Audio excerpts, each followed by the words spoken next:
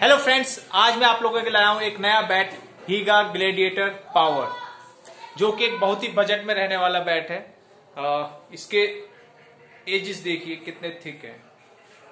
To भी thick है। कौन केविंग है बैट में आप देख सकते हैं बट स्पाइन बहुत ही ज़्यादा हाई है। राउंड हैंडल में बैठे अच्छी ग्रिप के साथ। शॉर्ट हैंडल और इसका जो वेट है वो 1220 ग्राम के आसपास है। इसका एमआरपी जो है वो थर्टी थ्री हंड्रेड था और आफ्टर डिस्काउंट ये मुझे ट्वेंटी फाइव हंड्रेड का पड़ा।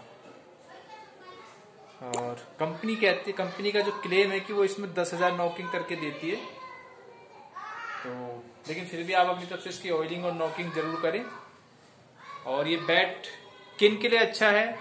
तो बैट अच्छा है बिगिनर्स के लिए, प्रैक्टिस करने के लिए, और जो लोग कभी कभार खेलते हैं, जो अभी नया नया टीम बना रहे हैं और इतना ज़्यादा वो क्रिकेट खेलते भी नहीं है तो उन लोगों के लिए बढ़िया बैट है। इसका करते हैं पिंक टेस्ट।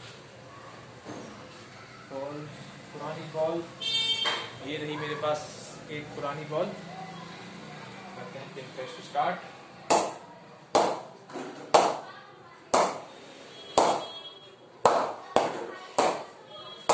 गया आप देख सकते हैं इसका।